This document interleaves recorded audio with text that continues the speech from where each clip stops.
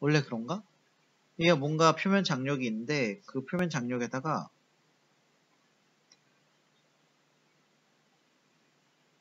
이거 막 표면 장력이 있어. 표면 장력은 뭐지? 어, 이 표면에 표면에 있는 애들끼리 서로 끌어당기는 힘 이라고 해야 되나? 그 얘를 만약에 이렇게 이렇게 한쪽으로 당기려고 해. 그러면은 다시 원상복구를 하겠죠.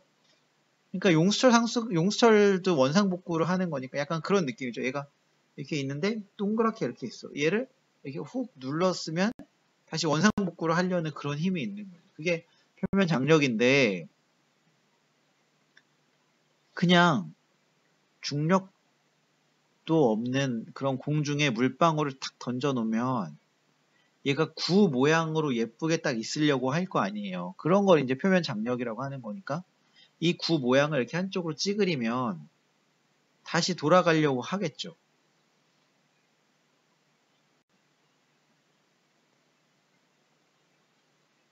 그쵸? 근데 이게 어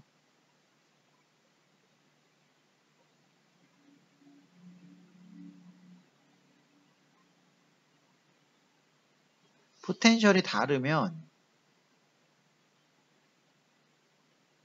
하여튼 뭐 돌아, 돌아가려고 하겠죠. 자, 그런 그런 게 이제 그러면 표면 장력을 나타낸 거가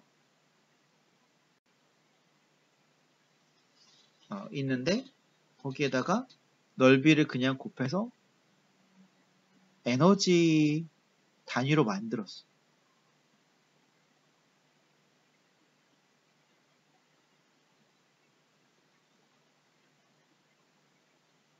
그걸 다시 넓이로 나눠서 단위 넓이당 에너지로 바꿨어요.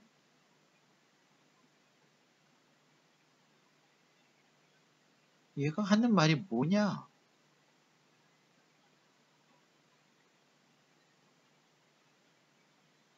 뭔가 되게 말장난 같은 느낌도 있는데, 그러니까 산성 쪽 에너지랑 염기성 쪽 에너지를 따로따로 계산해가지고 더한 다음에 전체 에너지로 나눴어요. 전체 넓이로 나눴어요.